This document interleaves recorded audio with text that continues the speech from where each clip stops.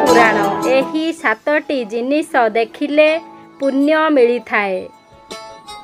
ଗରୁଡ଼ ପୁରାଣ। ଅଠର ମହାପୁରାଣ ମଧ୍ୟରୁ ଗରୁଡ଼ ମହାପୁରାଣ ଅନ୍ୟତମ। ଏଥିରେ ଉଲ୍ଲେଖ କରାଯାଇଥିବା ଜିନିଷ ଗୁଡ଼ିକ କେବଳ ମୃତ୍ୟୁ ଏବଂ ଏହାପରେ ଆତ୍ମାର ଯାତ୍ରା ବିଷୟରେ ନୁହେଁ ବରଂ ଜୀବନରେ ଉନ୍ନତି ଆଣିବାର ଉପାୟ ମଧ୍ୟ କୁହାଯାଇଛି। ଏହିପରି କିଛି କାର୍ଯ୍ୟ ବିଷୟରେ ଏହା କୁହାଯାଇଛି ଯାହା କରିବା ଦ୍ୱାରା ବ୍ୟକ୍ତିର ବର୍ତ୍ତମାନର ଜୀବନ ମଧ୍ୟ ସୁଖୀ ଏବଂ ସେ ମଧ୍ୟ ଗୁଣାତ୍ମକ ଲାଭ ପାଇଥାଏ। ଆଜି ଆମେ ଗରୁଡ଼ ପୁରାଣରେ ଉଲ୍ଲେଖ କରାଯାଇଥିବା ସାତଟି ଜିନିଷ ବିଷୟରେ କହୁଛୁ ଯାହା ଦେଖିବା ଦ୍ୱାରା ଜଣେ ବ୍ୟକ୍ତି ପୁଣ୍ୟ ପାଇଥାଏ। କେବଳ ଏତିକି ନୁହେଁ ଏହି ଜିନିଷ ଗୁଡ଼ିକ ଦେଖି ସେ ମଧ୍ୟ ତାଙ୍କ ଜୀବନର ଶୁଭ ଫଳାଫଳ ମଧ୍ୟ ପାଇଥାନ୍ତି। ଏହି ଜିନିଷ ଗୁଡ଼ିକ ବହୁତ ଶୁଭ। ଗାଈର କ୍ଷୀର। ଗାଈକୁ ହିନ୍ଦୁ ଧର୍ମରେ ପୂଜନୀୟ ବୋଲି ବିବେଚନା କରାଯାଏ। ଗାଈ କ୍ଷୀରକୁ ଅମୃତ ପରି ବିବେଚନା କରାଯାଏ। ଗରୁଡ଼ ପୁରାଣରେ କୁହାଯାଇଛି ଯେ ଜଣେ ବ୍ୟକ୍ତି କେବଳ ଗାଈ କ୍ଷୀରକୁ ଦେଖି ଅନେକ ପୁଣ୍ୟ ପାଆନ୍ତି। ଗୋଧୂଳି। ଯେତେବେଳେ ଗାଈ ତାର ଖୁରା ଏବଂ ସେଥିରୁ ବାହାରୁଥିବା ଧୂଳି ସହିତ ଭୂମି ସ୍କ୍ରାପ୍ କରେ ଏହାକୁ ଗୋଧୂଳି କୁହାଯାଏ। ଗୋଟିଏ ଗାଈକୁ ଏହିପରି ଭୂମିରେ ଚାଲିବା ଦେଖିବା ଅତ୍ୟନ୍ତ ଶୁଭ ବୋଲି ବିବେଚନା କରାଯାଏ।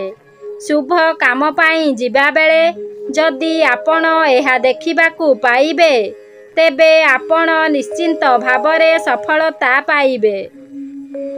ଗୋଶାଳା। ଏକ ଗୋଶାଳା ନିର୍ମାଣ ଗାଈର ସେବା କରିବା ଗୋଶାଳା ପାଇଁ ଦାନ କରିବା ଅତ୍ୟନ୍ତ ଶୁଭ ବୋଲି ବିବେଚନା କରାଯାଏ। କିନ୍ତୁ ଗୋଶାଳାକୁ ଦେଖିବା ମଧ୍ୟ ବହୁତ ଭଲ। ଗରୁଡ଼ ପୁରାଣରେ କୁହାଯାଇଛି ଯେ ଏକ ଗାଈ ଗୋରୁ ଦେଖିବା ଅନେକ ପୁଣ୍ୟ ଦେଇଥାଏ। ଗୋଖୁରା ଗାଈର ପାଦକୁ ତୀର୍ଥସ୍ଥାନ ମାନ୍ୟତା ଦିଆଯାଇଛି।